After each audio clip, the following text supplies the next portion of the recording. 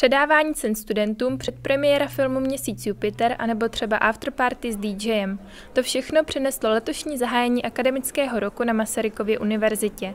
Vrchol večera patřil vynikajícím pedagogům. Celkem si cenu rektora odnesli tři vyučující. Z celkového počtu necelých asi 630 tisíc eh, studentů hlasovalo kolem 2600 studentů, což zhruba percentuálně odpovídá 7% našich studentů univerzity. Do hlasování o cenu rektora se mohli zapojit jak studenti, tak zaměstnanci Masarykovy univerzity. Mezi oceněné patřil také vedoucí katedry politologie, docent Stanislav Balík.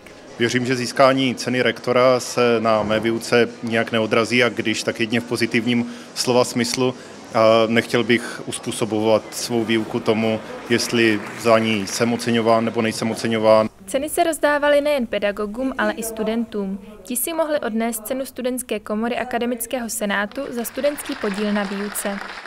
Zapojení studentů do výuky myslím si, že je velice žádoucí, neboť je to může svým způsobem rozvíjet a může je tam obohatit a můžou tak získat životní zkušenosti.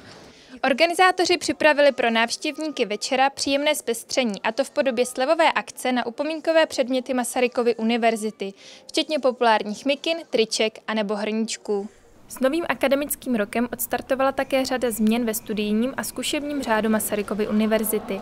Změny se dotknou například docházky. Možná bude totiž pouze jedna absence, anebo také většího počtu uznaných předmětů z předchozích studií. Pro Moni TV Matěj Hudák, Jakub Schenberger a Zuzana Novotná.